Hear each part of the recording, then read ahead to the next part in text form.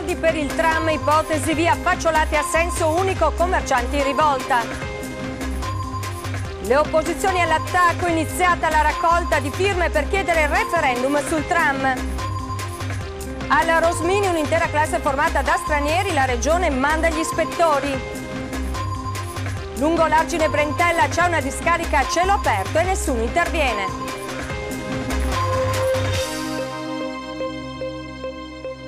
TG Padova, buonasera a tutti voi telespettatori, ben ritrovati in diretta con la nostra informazione. Dunque l'ipotesi della realizzazione di una nuova linea del tram in via Facciolati a Padova preoccupa i commercianti, non solo per il periodo di durata dei lavori ma anche per la futura viabilità e c'è chi è pronto a dare battaglia. Sentiamo nel nostro primo servizio. Se ci fosse anche l'ipotesi del tram, qui siamo proprio, siamo proprio tutti quanti costretti a chiudere. Se non è il panico, poco ci manca. La notizia è che la nuova linea del tram potrebbe passare per via Facciolati, trasformandola tra l'altro in un senso unico, con l'altra direzione di marcia che verrebbe trasferita sulla parallela via Crescini, si è diffusa in un baleno tra i commercianti di questa arteria fondamentale per l'ingresso e l'uscita nella zona est di Padova.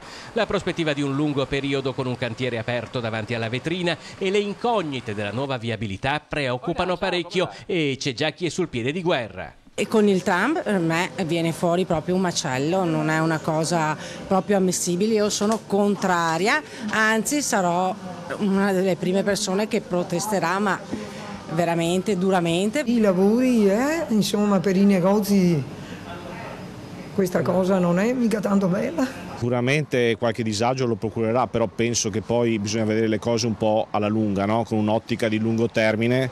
I lavori potrebbero iniziare nel 2018 e durare circa due anni con la possibilità di inserire anche una pista ciclabile degna di questo nome, vista che l'attuale, come abbondantemente documentato dai nostri servizi, è del tutto insufficiente. Un cambiamento globale, insomma, ma un cambiamento che preoccupa parecchio e che secondo alcuni potrebbe portare a un futuro peggiore del presente. Un metrobus qui significa semplicemente avere l'opportunità di non avere più nessuna agibilità dal punto di vista del passaggio e tutto il resto.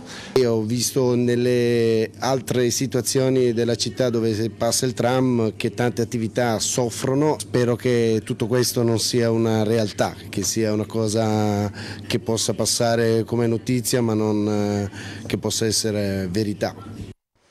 E sul tram è anche bufera politica, le opposizioni vanno all'attacco, è iniziata anche una raccolta di firme per chiedere una consultazione popolare, un referendum proprio sul progetto del tram.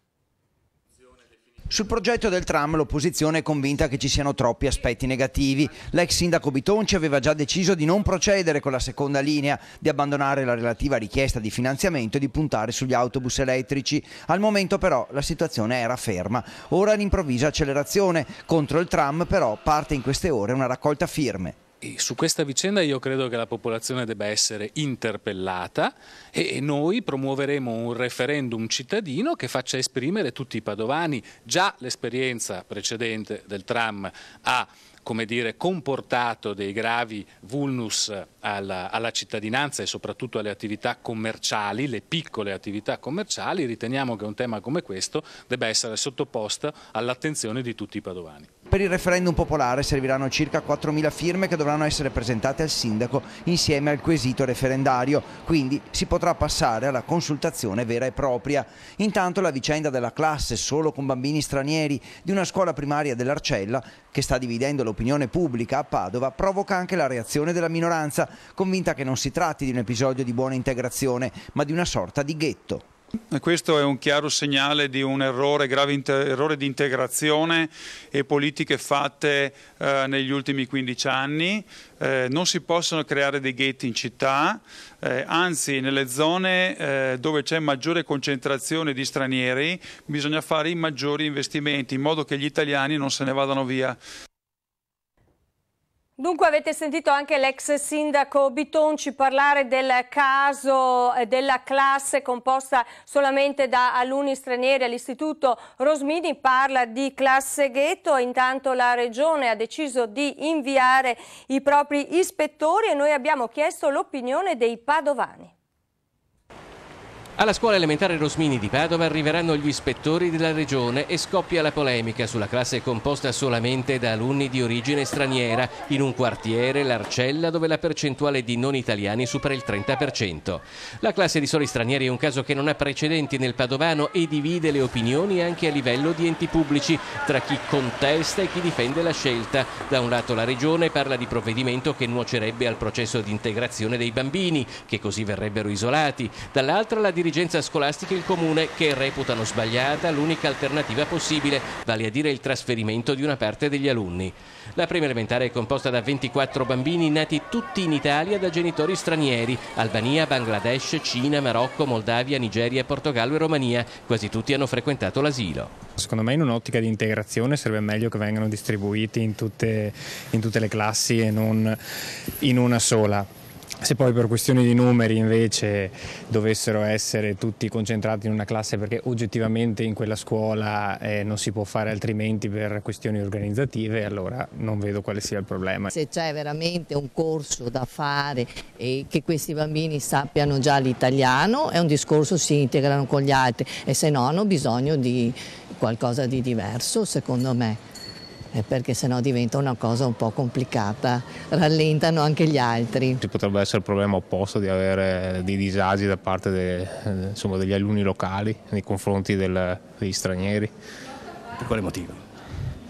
Ma la, la cultura potrebbe, potrebbero affermarsi culture predominanti da parte degli stranieri? Probabilmente eh, fare delle classi eh, di soli stranieri effettivamente è ghettizzante, no? perché eh, anche se puoi più focalizzare l'insegnamento sulle loro carenze, eh, eh, rallenti l'integrazione. E adesso con le prossime immagini vi mostriamo una discarica a cielo aperto in uno dei luoghi più verdi e tranquilli della città. Stiamo parlando dell'Ungargine Fabre a Chiesa Nuova. Questi sono bei freschi perché ieri non c'erano, quindi Rifiuti freschi di giornata a Chiesa Nuova sul Lungargine Fabre in riva al Brentella, detto anche il Lungargine dei Divieti. Qui su disposizione dell'ex vice sindaco e assessore alla sicurezza Maurizio Saia, che abita nelle vicinanze, da qualche anno è infatti vietato nell'ordine accendere fuochi, il bivacco e lo scarico di materiali. Nessuno controlla e perciò ecco che il Lungargine è diventato una discarica a cielo aperto. I residenti non ci stanno. Per non fare fatica a metterli dentro oppure che c'è troppo con lui che sta importa di riolarci. Noi veniamo a camminare le, tutti i giorni. Di cosa vedete? Ci racconti? Sacchi, ma non si vede le persone. Adesso ho trovato un signore, mi hanno detto che sono quelli di Urbano che portano Grazie. qua i sacchi perché c'è la bilancia. Euro per non pagare, portano i sacchi qua e questi sacchi dappertutto. Questo in barba al divieto numero 3, ma le cose non vanno bene nemmeno per gli altri due divieti. Mangiano, bevono e lasciano quello che lei ha ripreso, carabinieri, i vigili, e poi la polizia possono girare qualche volta, perché qui non si vede uno di loro non lo vediamo solo in caso eccezionale. Servirebbe una telecamera per provare a individuare i vandali notturni e le persone che infrangono i divieti. Inquietante la presenza nei sacchi di rifiuti di materiali edili. Poi, tra il serio e il faceto, le signore che camminano sull'argine inquieta anche l'odore misterioso che esce dai sacchi. E chi lo sa, chi lo sa, che avevamo paura che ci sia anche qualche morto dentro. Io ho avvertito i vigili più di qualche volta e non ho avuto risultati. Li aspettate? Li aspettiamo. Insomma una situazione inaccettabile, chi di dovere dovrebbe intervenire quanto prima. È tutto, grazie per l'attenzione a tutti voi, una buona serata, arrivederci.